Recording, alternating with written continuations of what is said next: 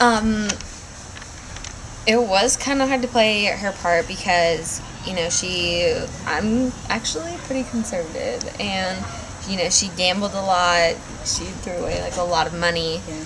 and you know, she bought a lot of clothes, and it just her whole thing with like her scandals and The fact that she's like really naive too. yeah. And you know she was supporting France's enemies after she became queen, and that's just wrong. Um, I played the role of uh, Francesca of York, and I was um, Marie Antoinette's friend. well, I was friend to her face, but I actually hated her.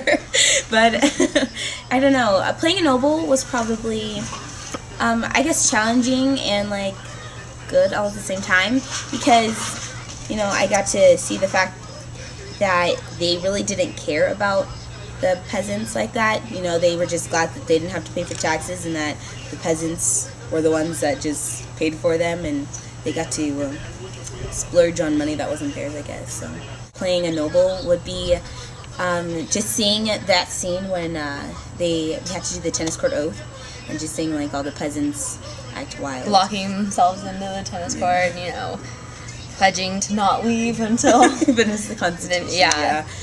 yeah. And that was pretty cool though. because it And, was like- like yeah and our and the way that the director did it it was just so historically ac- accurate that Yeah. And having like them getting locked out of their meeting hall and then marching over to the tennis court. the little Yeah. yeah yeah it was cool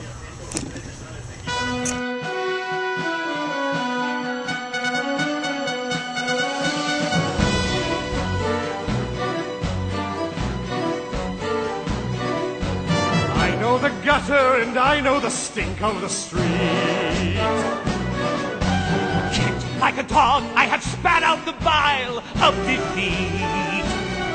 All you beauties who towered above me, you who gave me the smack of your rod. Now I give you the gutter. I give you the judgment of God.